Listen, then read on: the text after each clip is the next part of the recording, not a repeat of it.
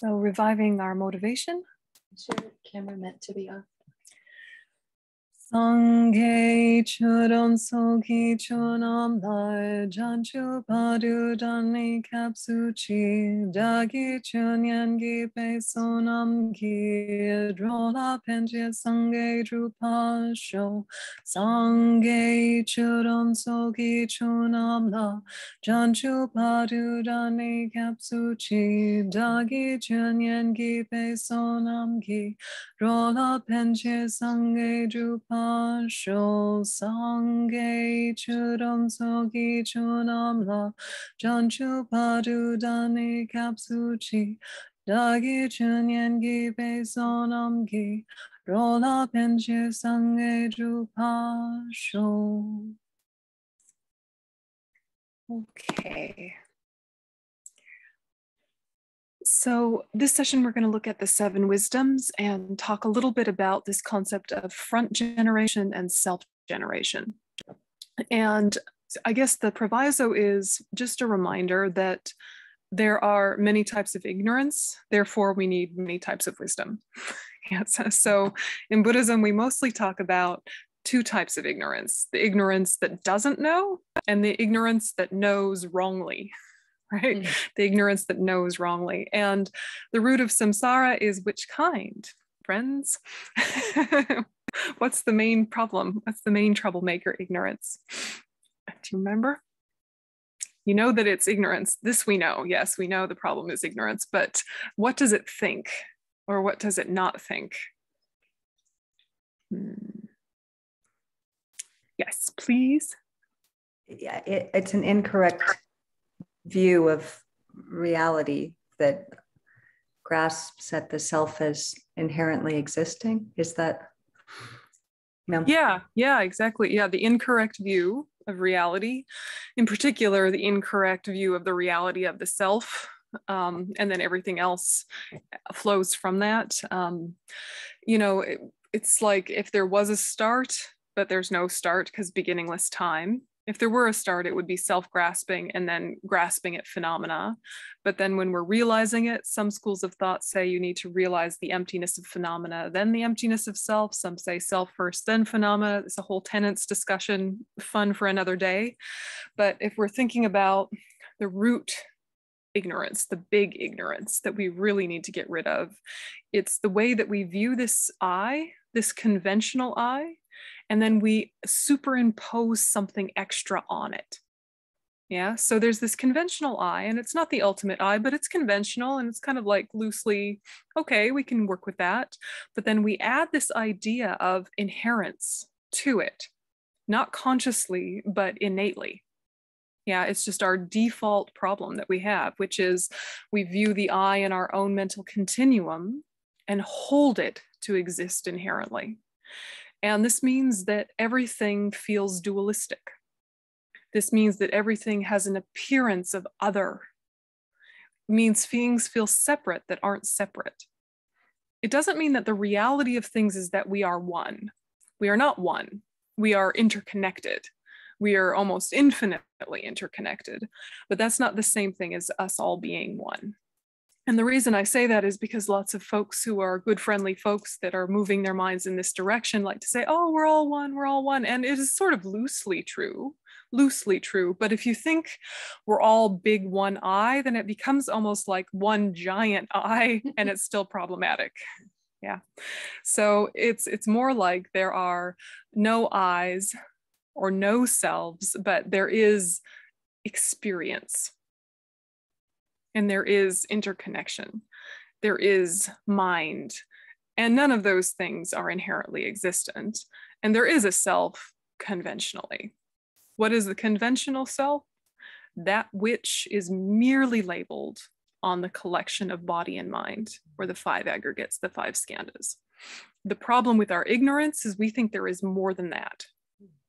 If we just operated with the conventional self, and just said, yeah, sure, merely labeled on the collection, which is merely labeled on their own collections and their collections and their collections. If we kind of lived in that knowledge, we would not cause so much trouble. But we believe that there's more. And then it needs to be protected and supported and defended by all of these things perceived as others. And there's constant push and pull throughout all our life. Yeah, we are attracted to what supports this false eye. We are averse to what seems to harm this false eye. And that kind of ignorance we need to cut with wisdom. But there's also ignorance about cause and effect. And ignorance about cause and effect makes you not ethical. Yeah, ignorance about all sorts of things, all sorts of wrong views. And so these different kinds of wisdom that Manjushri helps us embody, some of them are very practical and immediate, and some of them are long term, and all of them are in a way both. Mm. But when you see something like the wisdom of composition, it's not an invitation for us to all write books. It's saying that once our wisdom is integrated, may whatever we write have this power of Manjushri to kind of pierce through the ignorance of the reader.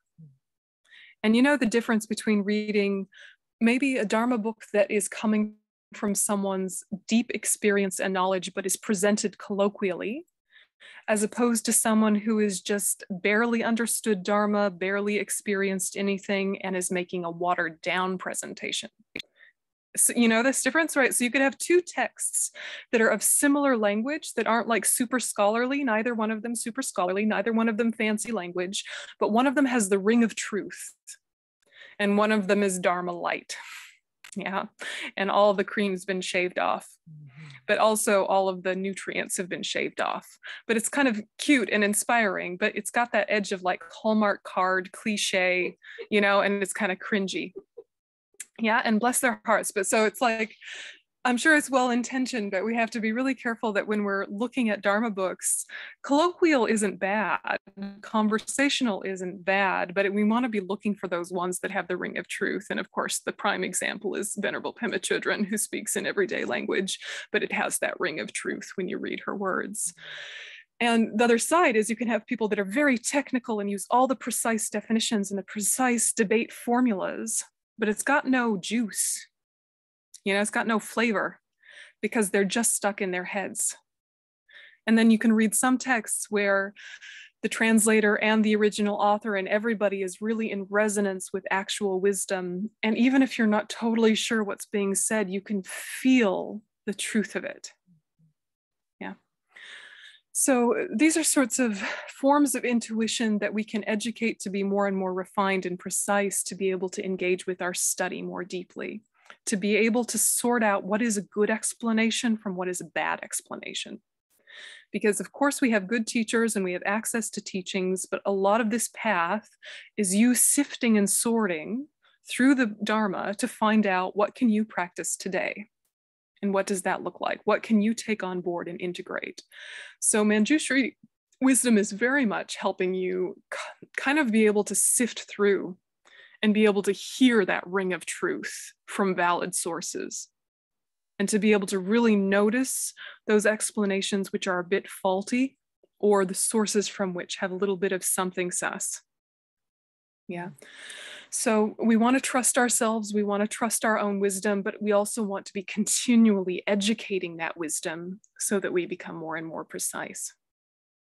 So many types of wisdom to counteract many types of ignorance. Now, in the visualization that we just did with the seven wisdoms, various things go out and come in and go out and come in. Where is it coming from? Where is it going to? Might be very obvious just from the words of the Sadhana, or not. And so if it's not obvious, you're not alone, we can totally unpack it. So I'll just start with the first one and, um, and chime in if you have questions. So with this first one as our example, we want great understanding. What is great understanding? The ability to understand and explain the meanings of the extensive scriptures without resistance. So you think that this concept takes the form of orange colored nectar beams, which then become clarified as pure Lord Manjushri, emitted from Manjushri. And you're like, what? Wait, what? Where is he? Who is he? What's happening? Am I not Manjushri? Who is Manjushri? So this is where it's easy to get stuck.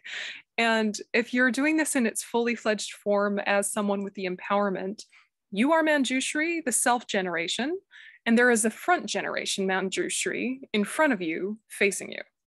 And it's not explicitly written out in the text, but all sadhanas have both front and self generation, hmm. whether it's written or not. At least in some part of the text, there is a relationship between front and self. The front generated deity is the archetypal energy of that Buddha, one in nature with your own root guru, in that form.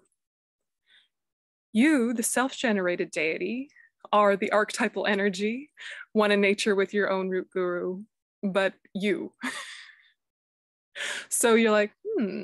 So it's kind of like you're looking in a mirror, but not quite. Because in because you don't you wouldn't need to do this if you already had completely merged. But because we're not quite merged with the guru deity, we need to have this impression of there's the outer one and the inner one. Just like in the sutra path, there's the inner refuge and the outer refuge. The inner refuge being our own mind, the outer refuge is being Buddha, Dharma, and Sangha.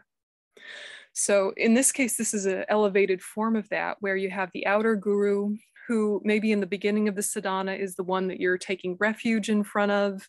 Sometimes there's purification practices and various merit making practices, maybe offerings there, and then later offerings to the self generation. That's quite common where you first get front generation making offerings, then self generation making offerings. And, you know, you can be kind of tangled like, so I get that Manjushri or whoever the deity is, is getting a lot of offerings, but is it me or is it you? And it's like, it's first you, then it's me, then we're merged. yes. And we're trying to kind of have the, the idea of being merged the whole time. Your mind mixed with the guru's mind. Yeah, so the guru deity is what we're really talking about in all tantric forms.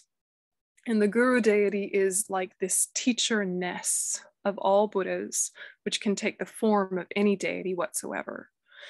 And it can be like the real flesh and blood Lama that you have is wearing a Manjushri suit.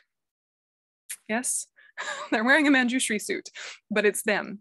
Yeah, their little eyes twinkling out of Manjushri's eyes like this. Yeah, this is my framing. But the way you're seeing it is that the Lama nests it has to start as a flesh and blood person who you relate to. Mm. But as you mature in your practice, it becomes more and more connection with the great beyond, connection with the Dharmakaya mind of all the Buddhas, and less and less referential to the flesh and blood person mm-hmm. who was the catalyst for this whole relationship. Mm-hmm. So the flesh and blood guru is like your training wheels guru or your introductory level relationship with the guru.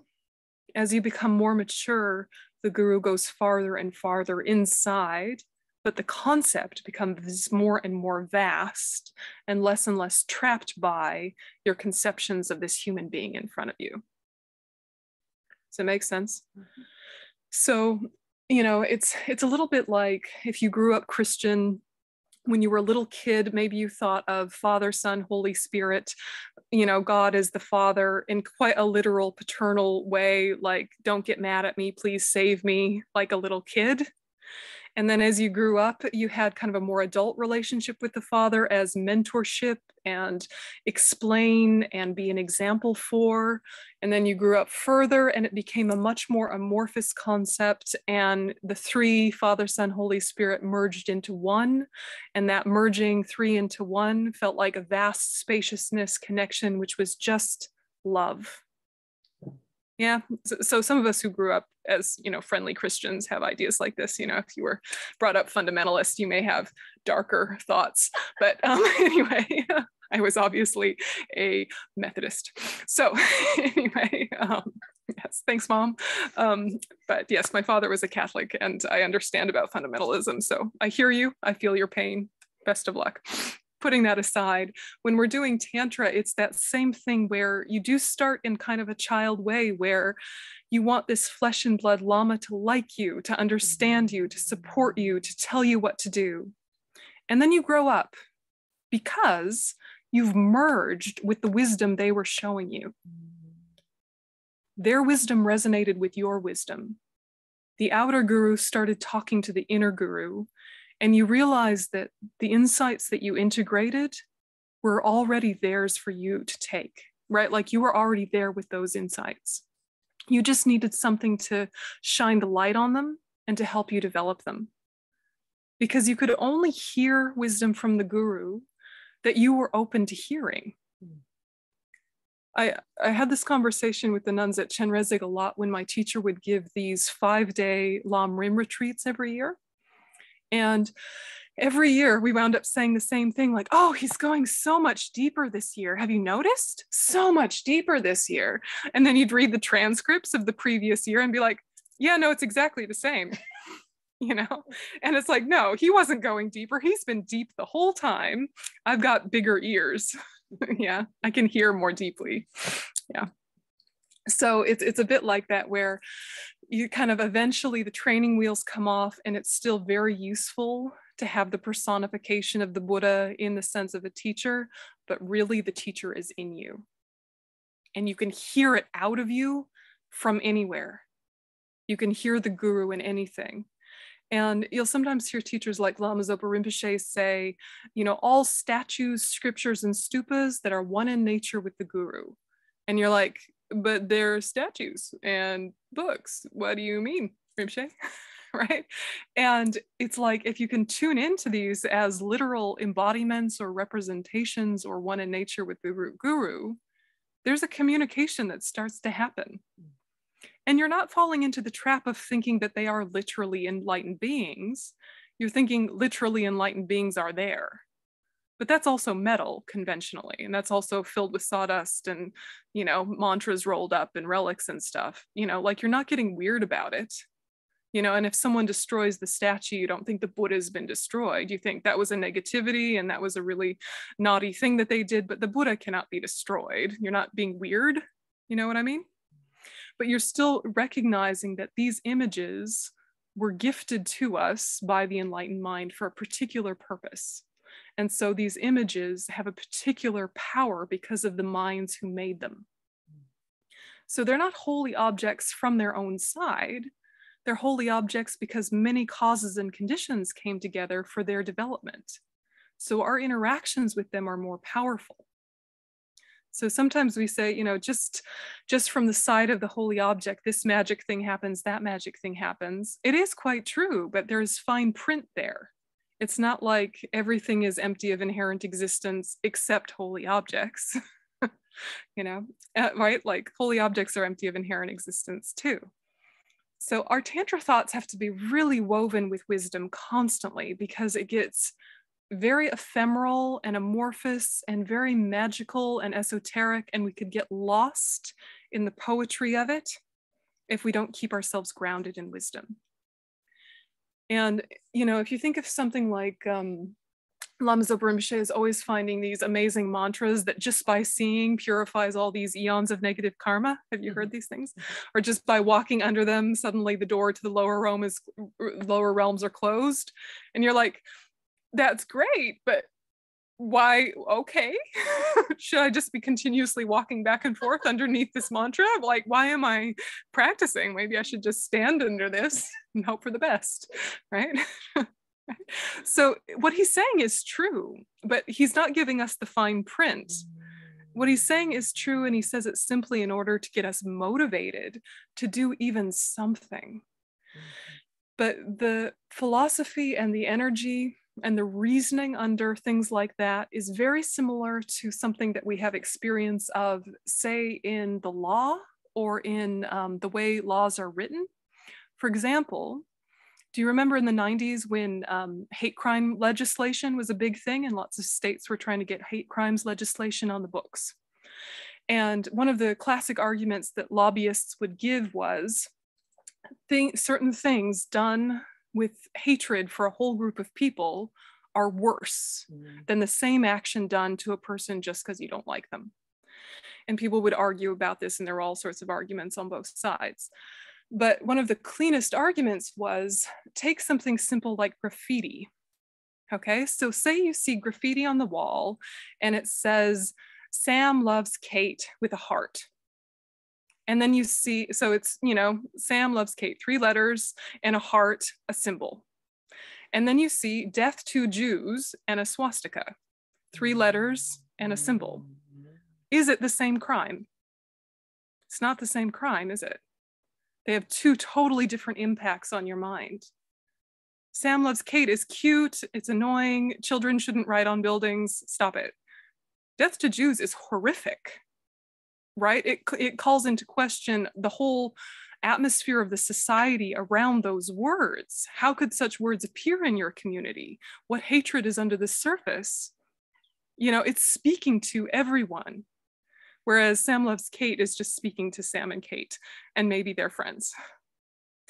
So this is the kind of the, some of the reasoning underneath the power of mantras is that the mantras don't have this power from their own side, but because of who put them there and how they came about, and then our mind meeting them, there is a power because of that. But if one of those conditions wasn't there, it wouldn't work. Yeah, if it wasn't a holy mind that made it and it wasn't a sentient being that met it, it wouldn't work. Yeah. Does that reasoning help you understand why mantras have power? Yeah, it's similar with like flags, you know, like a flag doesn't have any meaning if you don't know what it means. But if your whole life you grew up, you know, with your whole family telling you the flag means freedom, then when you see the flag, it means freedom. but if you didn't know that, it doesn't have any imprint on your mind particularly. Now, holy objects are like that, plus the person that made them was enlightened. And so there is meaning even before you know the meaning. But that meaning it has didn't come out of nowhere. It still has causes and conditions. do you need to clarify anything about that? Is it making sense? Yeah, go ahead, Teresa.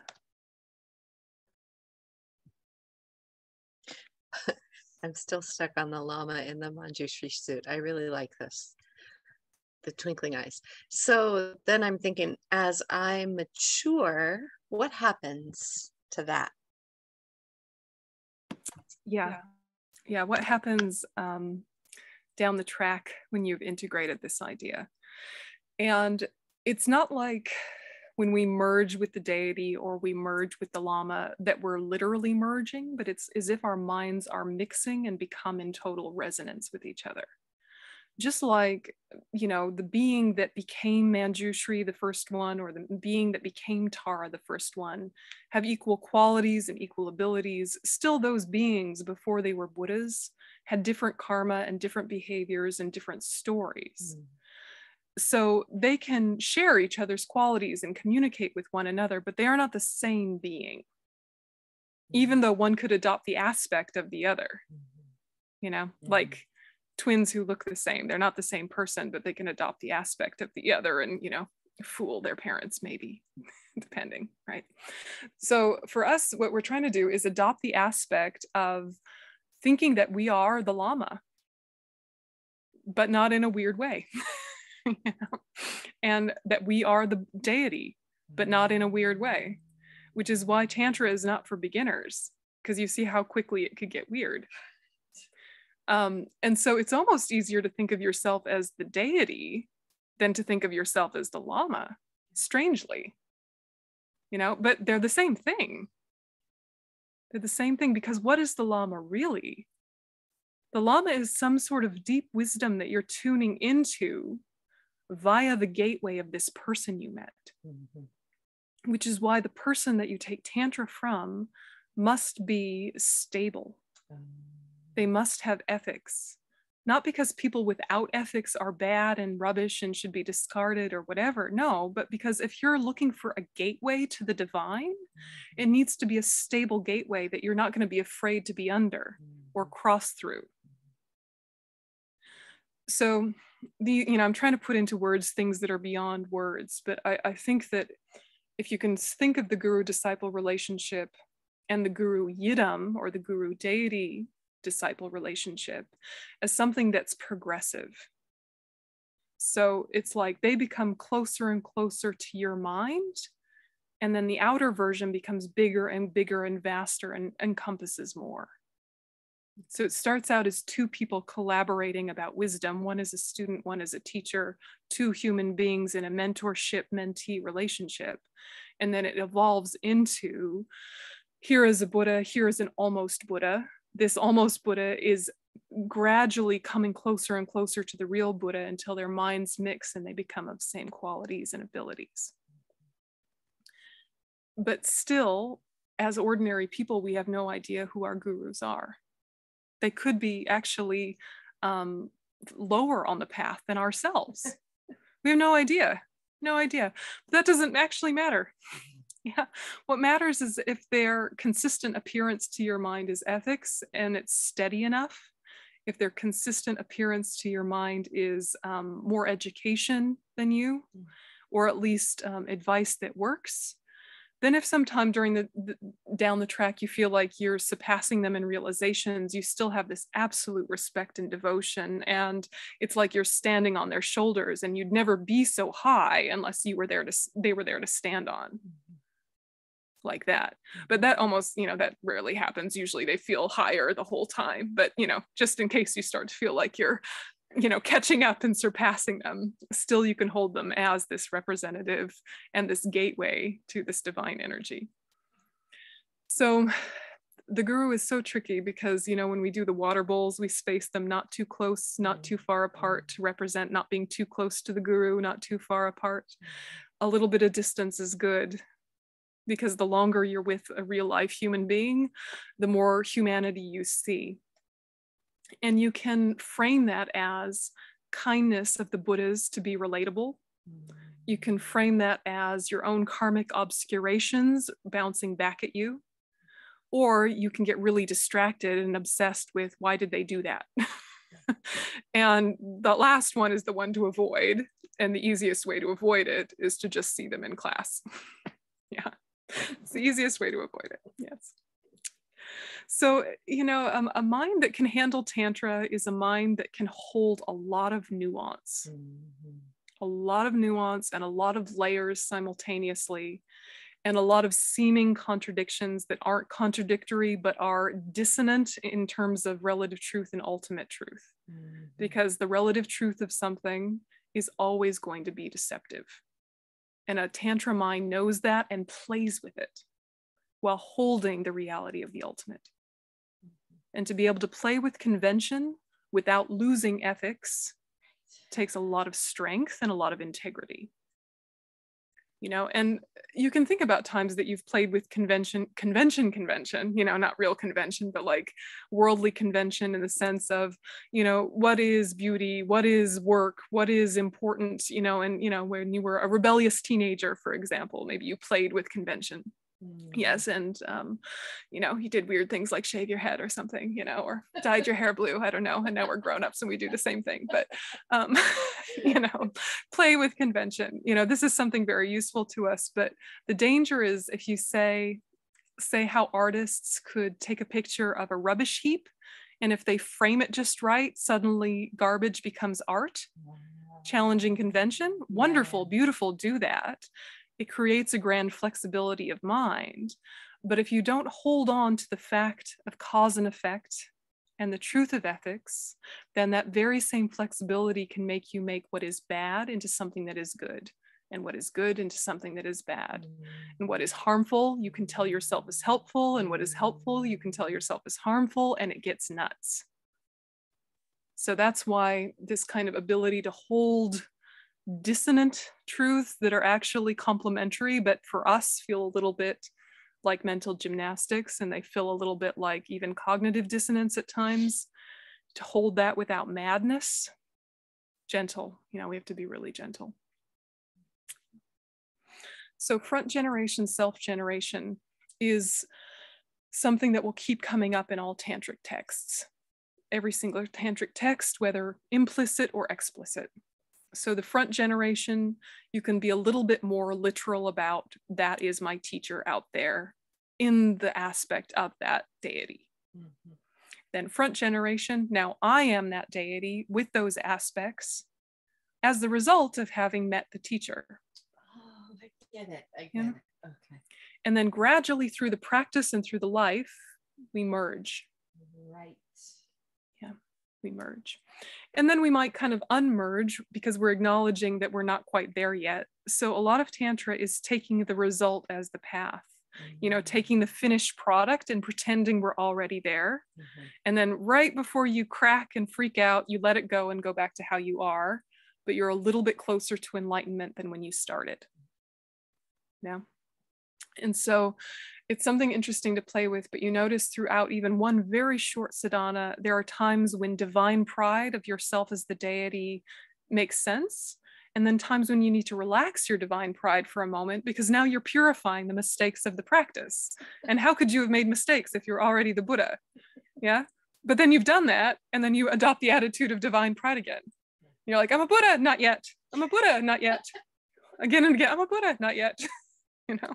But eh, you know again this flexibility that tantra encourages us to have and this playfulness and this way of using objects and sensory things and you know relationships and the environment and all of these things it's a play. And if it's making you joyful and flexible it's probably going in the right direction. If it's making you you know indulgent or nihilistic it's falling into the two ex- one of the two extremes mm. So if you find that starting to happen, if you start getting anything can be anything, therefore everything is nothing. Oh my God, you know, some sort of weird trip like that, that's not what's being asked of us. That's a mistake. But it can happen when you're kind of really deep diving into Tantra. You start questioning what is karma anyway? What is the mm-hmm. relationship of karma and emptiness? How does mm-hmm. this work? And you mm-hmm. can kind of get a little, ooh, you know, um, which is why sometimes in Kriya Tantra, because it's lower, there is more emphasis on looking after your physical body because it's easy to kind of lose touch with conventional reality when you start practicing in this way. And of course, in highest yoga tantra, you look after the body as well, but it's not as emphasized. Sort of the higher you get in the tantras, the less you need to worry about your body because you've kind of matured enough to not go too far with it. But Kriya Tantra, there's a lot of emphasis on staying clean, on eating really healthy foods, on sleeping the right amount and sleeping at the right times. It's just really good basic common sense stuff. And that's not accidental. Yeah. So you've got good common sense grounding plus all of this kind of magic ephemeral stuff. Questions? Thoughts? It's a lot to touch all at once. Um, that you know just kind of let it brew. Let it brew. So front generation self generation is something that will make more and more sense over time. And throughout any practice one is going to be emphasized more than the other. It kind of you take turns what object you're focusing on. And throughout these meditations the visualizations get layered but you don't need to feel really tight like you need to hold on to every piece and every step of the visualization. It's kind of like you clarify one piece and then release it and emphasize a different piece and release it and emphasize a different piece. You know, so like we start with our mind as a egg with a DHIH in the middle, and then, you know, it dissolves and you become Manjushri. And then we add to Manjushri Om Ahum. And then you kind of set that awareness aside and just focus on the mantra at the heart. It's not like you have to let go of the body of Manjushri per se, but it's no longer as prominent or as necessary to keep in mind until your mind is really able and spacious enough to hold many details. Yeah. And there's even a time when you let go of all the details and just focus on the DHIH. Yeah. So there's a lot of different um, layers and um, all Kriya Tantra practices also can use this practice of generating the deity through the six devas that we did when we did um, Chenrezig practice. Sometimes it's implicit, sometimes it's explicit, but that cool six deities self-generation that can be plugged into any Kriya Tantra practice. And that's lovely too. Um, but back to more tangible wisdoms, and then we'll call it a day. And tomorrow we'll look into just the meaning of each syllable of the mantra and the iconography and do the practice one more time. So great understanding is in the form of Manjushri. And then we have clear wisdom, which is in the form of the mantra itself, Om Sanadi. So you can have it, you know, in a straight line in Tibetan syllables, a straight line in English syllables. You can have it in a circle. You can have it in that um, wheel of swords or um, kind of whatever works for you. And again, if it's too much, orange light, just orange light. And so this Om Arapat is emitted from the Manjushri in front and then absorbs into me the Manjushri here, self Manjushri, fills your whole body. If you don't have the empowerment, orange light comes from the front generated Manjushri to the one at your crown. And then from the one at your crown, you can think nectar light flows down and through you. So that's the adjustment to make if you don't have the empowerment, is that these Om Arapat or Manjushris or whatever wisdom that we're up to, um, that it goes to that one above and then trickles down. Yeah. And then the atoms of nectar clarified as Om Arapat then they radiate out or they radiate out to all the other Buddhas and Bodhisattvas. Victorious ones and their sons just means Buddhas and Bodhisattvas. And we're hooking in the clear wisdom of all of them, not just Manjushri, in the form of Arapat and it absorbs into me and fills my whole body. Yeah. So this is kind of how it goes. You have the front Manjushri, you have the self Manjushri. The wisdom of whatever type is coming towards you if you have the empowerment, or towards the one at your crown if you don't.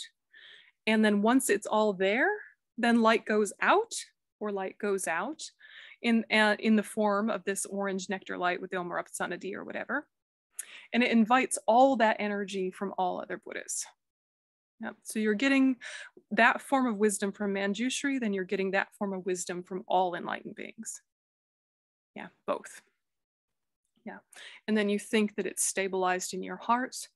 And the truth of it is, you have planted the seed for that in your mental continuum by thinking in this way. So there's a truth to it. It's not just playing pretends. Yeah. You have planted the seed for that in your heart.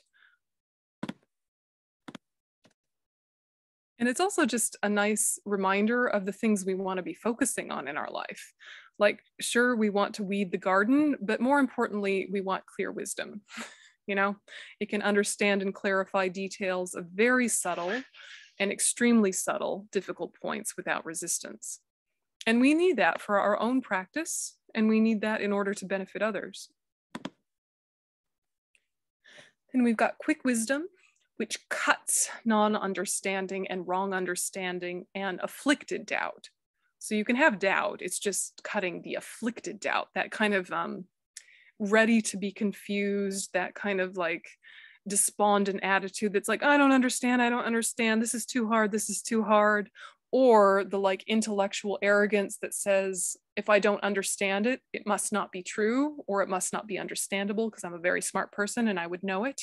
You know, so it's cutting both kinds of doubt, but that afflicted kind that's got some sort of um, attachment or anger or jealousy, pride kind of like wrapped up with it cutting that.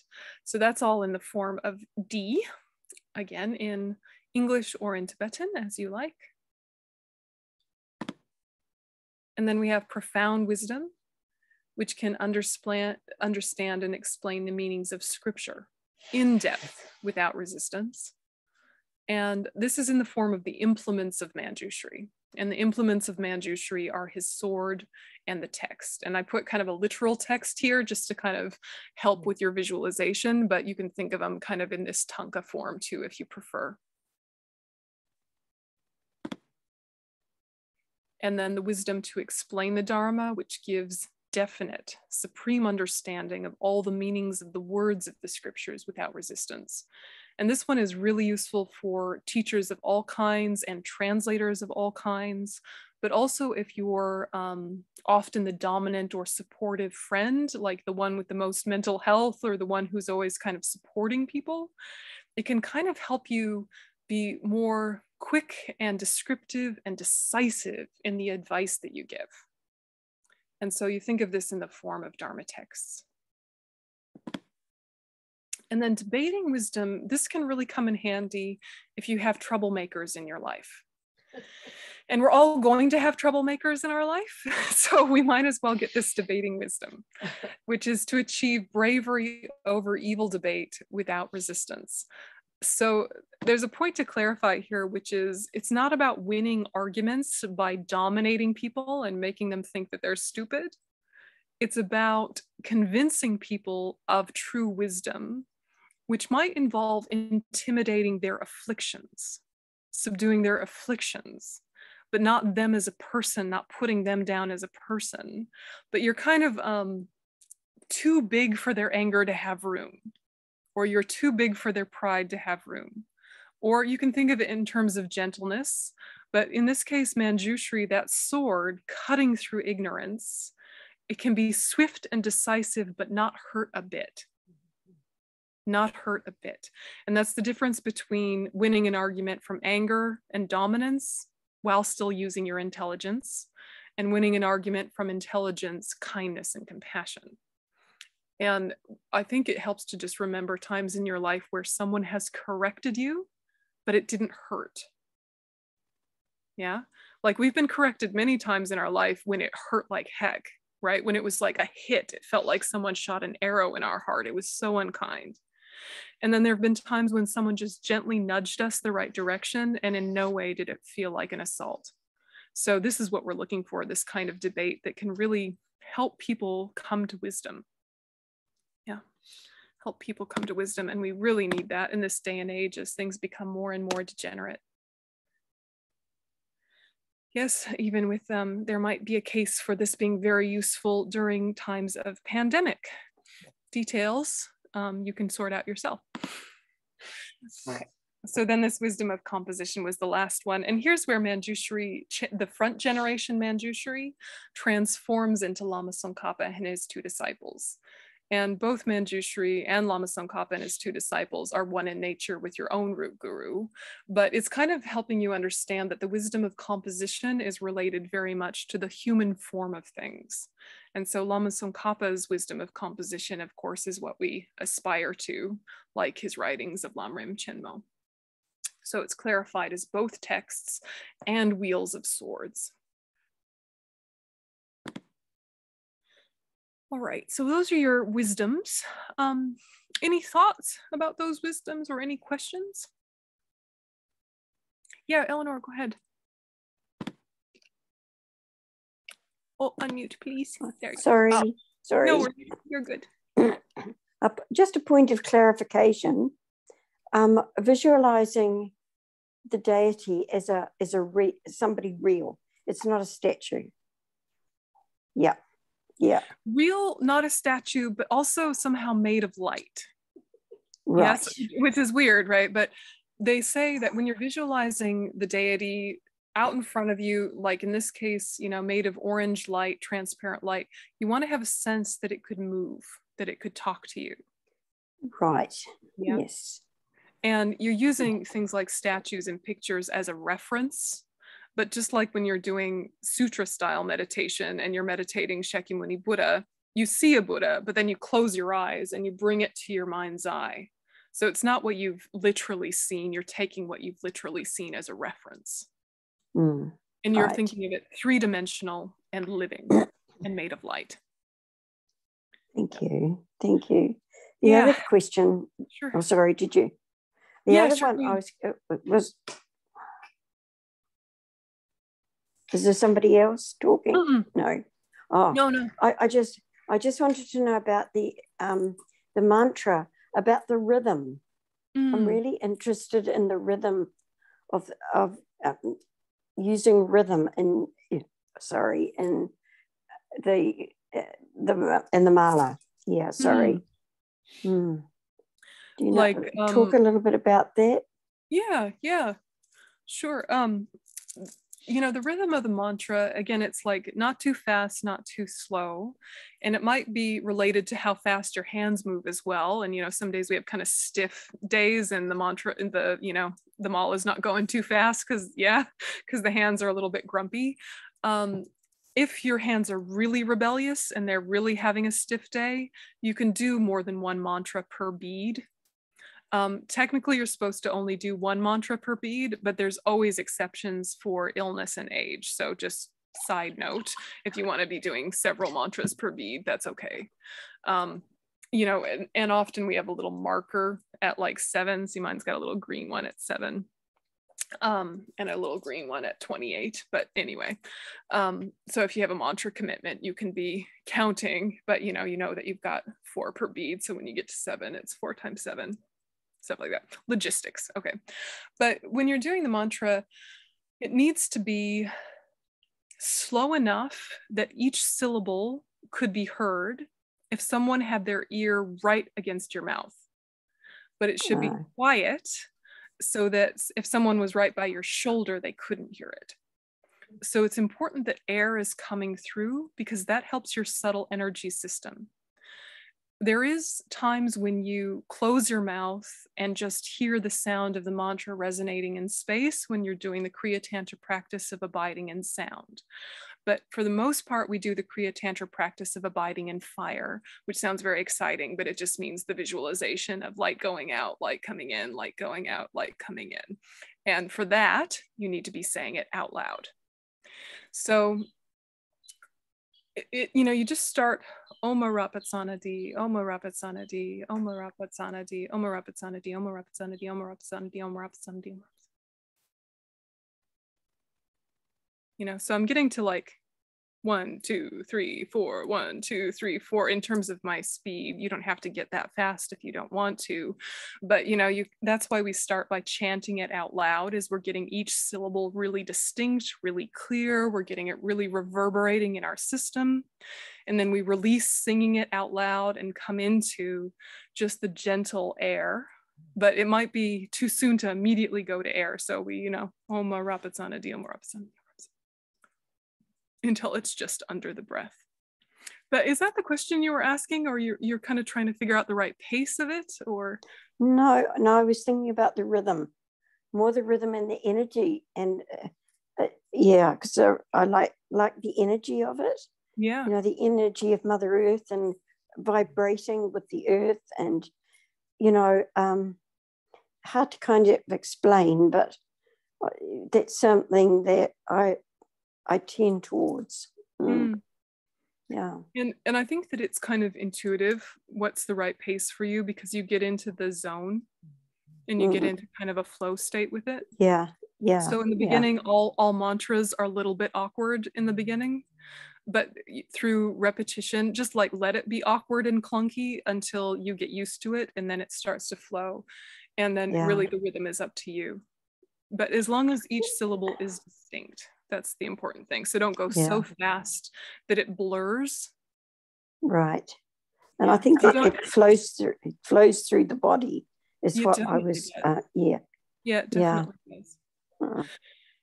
Definitely does, especially you. if you're in the flow state. I think if you're pushing to go faster than you're able to, or if you're kind of like, I don't know, having resistance and going a bit too slow, then you don't get that nice feeling in your energy system. Mm but sometimes that nice blissful feeling you'll get in your energy system with mantra is because you've hit the right speed and you've got a good level of concentration that's not too tight not too loose so mm. if you mm. feel like a tightness start to happen in your heart or a tightness start to happen in your stomach you're probably pushing too fast or there's something is funny about the rhythm and the pacing mm. so just adjust it a little bit yeah but it, it, for the most part it's, it's an intuitive thing you can feel is this the right pace for you or not so when you're in a group, you try and go along with the group. But as soon as people click into the silent under the breath, totally go the speed you want to go, completely your speed. Yeah. Um, when you're doing a, a, retreat, you know, when we do the retreats where we're accumulating hundreds of thousands of mantras, um, there is a need for a little bit more speed. Um, and sometimes there is a little bit of pushing to increase your level of focus but it's always more important to connect with the deity than to finish your mantras. So if you're ever doing one of these retreats again where you're doing a big accumulation, the number is just kind of a, a rough idea of how many it takes to come closer to the, the deity than you were before. Mm. That's why they're called an approach retreat. You're approaching the deity, you're coming closer to the deity. And so for Chenrezig, for example, you want to do 600,000 on the same seat without missing a day that sounds like a lot, but then you realize it only takes three weeks. You know, but if it takes more than three weeks, that's okay. You know, because what are you going to do when you finish? You're just going to keep doing it anyway. yeah, it's just when you finish these retreats, you have certain permissions to um, repair broken samaya, broken vows. You have um, permission to offer certain things to other people. And so accomplishing these numerical things mm. Is useful very much for your work for others, as well as being able to repair vows when you're by yourself. So that's why we do these numerical retreats is to kind of increase our purification abilities. So we have less reliance on external teachers. So that that's anyway, just a side note, because I know sometimes those retreats can be a little full on. yeah. yeah. Thank you. Yeah, and the tunes for some of the mantras have been inspired by dakinis and have been told to meditators in their caves. And some of them have just been made up by whoever and are just a nice way to sing it out loud. And it really depends on the mantra. But uh, for the most part, if you just try and stick with how your teacher taught it to you, you know, the pronunciation, just try. But remember, intention is more important accuracy intention. Always the story of the, yes, the old story that always gets taught in this context, which is there was a, a student who was annoying his teacher by asking for a mantra. Give me a mantra, give me a mantra. Yeah, and he kept bugging him.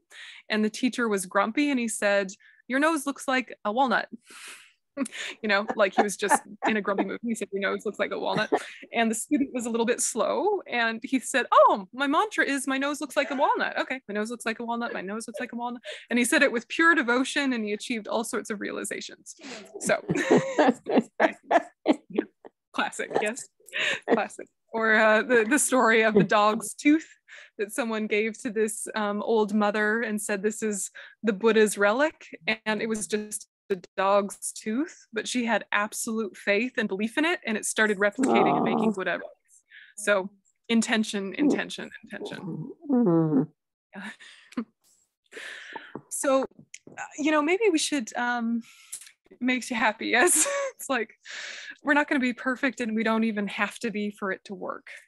Yeah, because mm-hmm. again, these are just these are just formulas. They're just like it's a little bit like a recipe you know and when you're learning a recipe you really need to follow it but then when you're good at it you can start to play and be creative because you know what tastes go with which tastes and you know the proportions that work. So really see these sadhanas as like recipes and someone very enlightened made these recipes but then eventually you're going to personalize them and make them your own. And the root recipe was always important but also so is making it suit your taste So um, are there any hanging questions about the sadhana? Because um, tomorrow we're mostly just going to do mantra and iconography or about how to do sadhanas before we call it a day. Good. Enough to be getting on with at least, yes. okay, well, we'll, um, we'll go ahead and dedicate. So just think that all of the energy we put into this practice May it lead to the enlightenment of all sentient beings. Jancho rinpoche, ma ke panam ke gyuchi, ke panyam pa me pai, gone gondu palwa sho, toni dawa rinpoche, ma ke panam ke gyuchi, ke panyam pa me pai, Gone gondu pelwasho.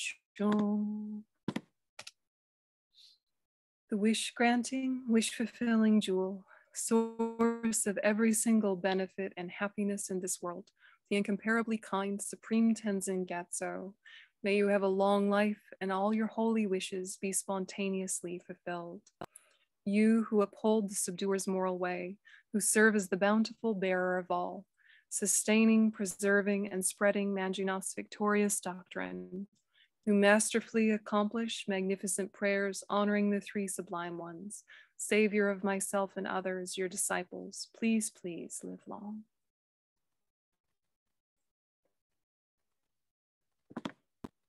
Okay. So have a good night, everyone, and uh, we'll be back here tomorrow at 9:30 Pacific, and uh, it'll just be a half day tomorrow. So thanks so much. It was lovely to practice with you.